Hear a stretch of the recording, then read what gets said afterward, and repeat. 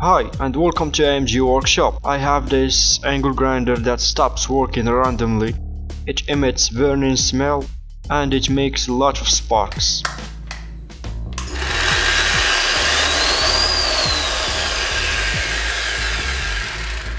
In this video I'm gonna show you how to fix it.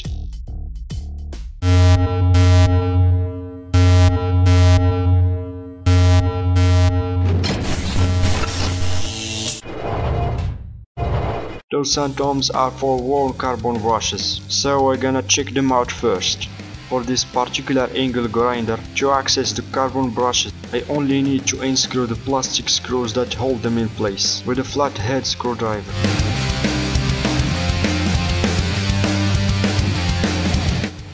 I believe this one is the problem, as you can see it's broken. I already purchased new ones, so I just gonna go ahead and install them. But first I want you to take a look at the commutator. And as you can see it's dirty, so I'm gonna clean it with emery paper.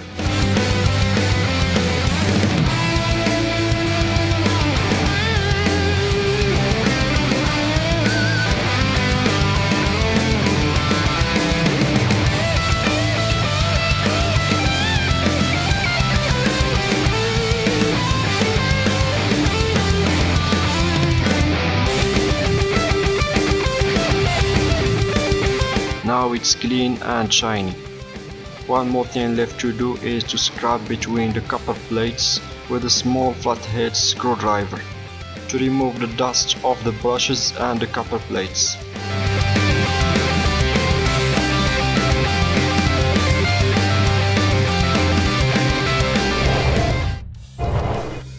And now it is time to install the new brushes.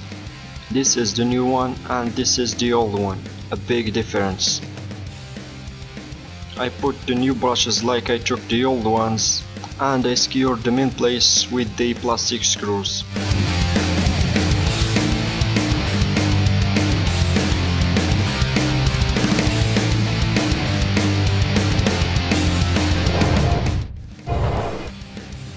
I tried it and it's working fine every time without interruption.